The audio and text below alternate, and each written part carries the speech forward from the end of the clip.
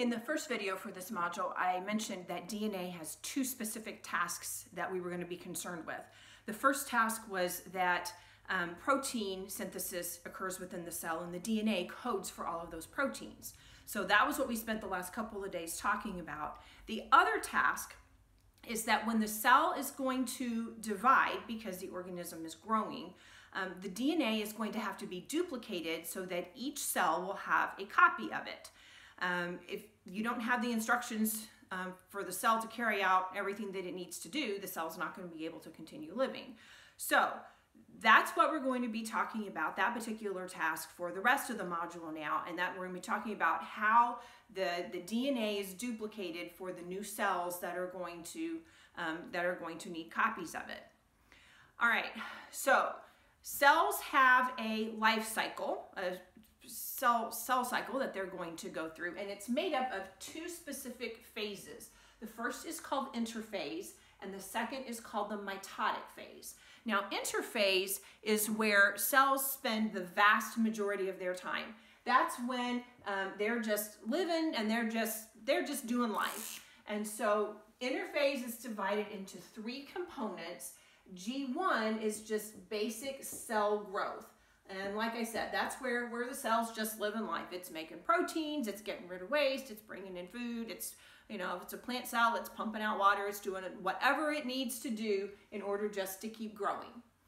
The S phase stands for synthesis, and the synthesis is where the cell actually replicates or makes a copy of its DNA in preparation for the cell to divide and to reproduce.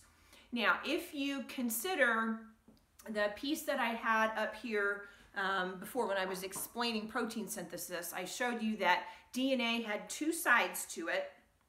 And um, I showed you how just a portion of it kind of split apart. Well, in DNA replication, we don't want just a piece of it. We want a copy of all of it. So all of it is going to split apart. And so I'm going to have one strand over here and one strand over here.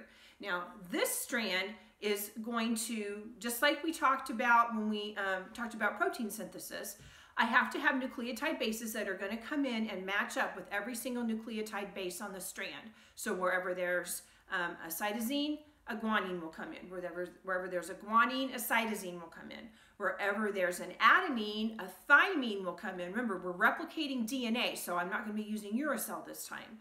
And wherever there's a, um, uh, a thymine and adenine is going to come in. So this side of the DNA is going to have um, all these new nucleotide bases come in. This side of the DNA is going to have the same thing happen to it, and it's going to match up with all these nucleotide bases. And so you're going to have an old strand that's going to match up with a new strand. These two are going to bond together, and they're going to be um, a brand new strand of DNA.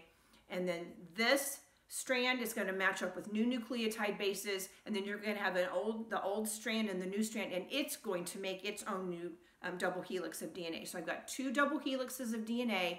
They are then going to um, they're, they're both going to be available then and, and, duplicated so that it is possible um, for this whole cell to, to, to reproduce.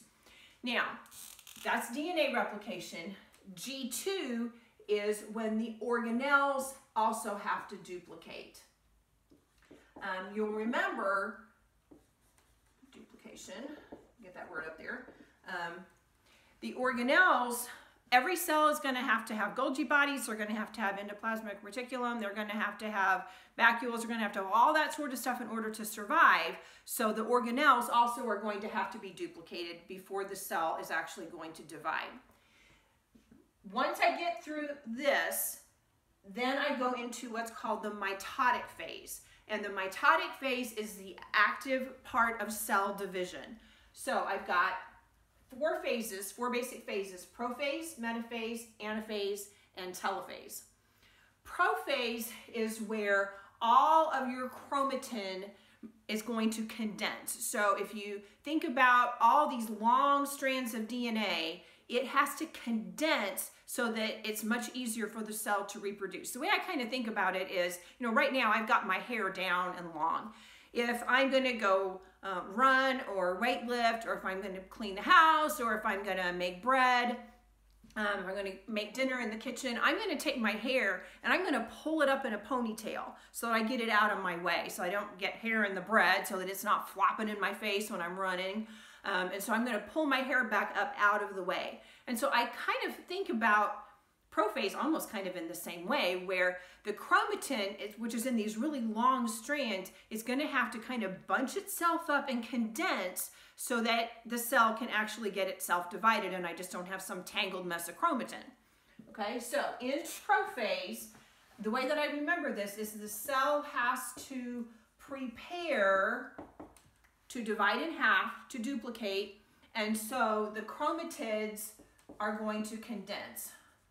Okay, so the chromatin condenses, and then they are joined together at the centromere.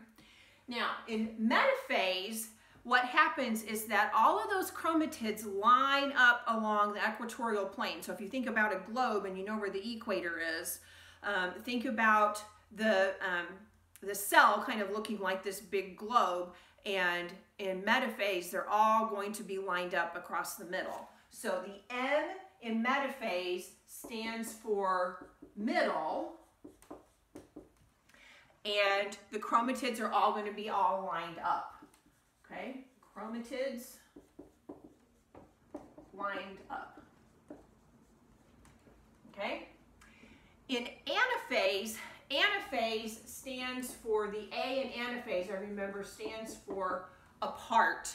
So there, the chromatids, remember I told you there were two chromatids and they were joined by a centromere. They're actually going to pull away and they're going to separate from each other.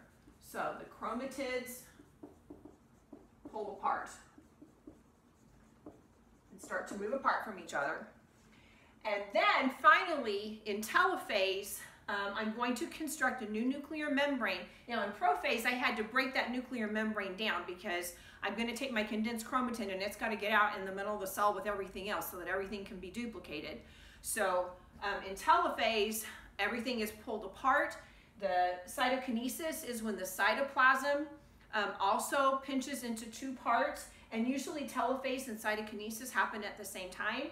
So here, um, everything separates, um, a new nuclear membrane reassembles itself, and the cell divides into two, and that's when the cell then says, ta-da! Because it has now finished the process of, of cell duplication, DNA replication. It's divided into two cells. It started with one parent cell, one mother cell, and now it's broken down into two daughter cells. Okay, so just to, again, the, the chromatin has to condense. That's how it prepares in prophase. In metaphase, the chromatids all line up in the middle in anaphase, they start pulling apart. And then telophase and cytokinesis is when everything um, divides apart, the nuclear membrane reassembles, and the cell goes, ta-da! And, it, and it's all finished, okay? Now, I have sent you links um, to some pictures where you can see actual cells under the microscope going through mitotic division. It is fascinating to actually realize that every one of the cells in our bodies is going to do this at some point. So make sure that you um, click on those links and watch them because I really want you to be able to see it happening um, in an actual cell and not just in drawings and words and descriptions, but to actually see it happening, okay?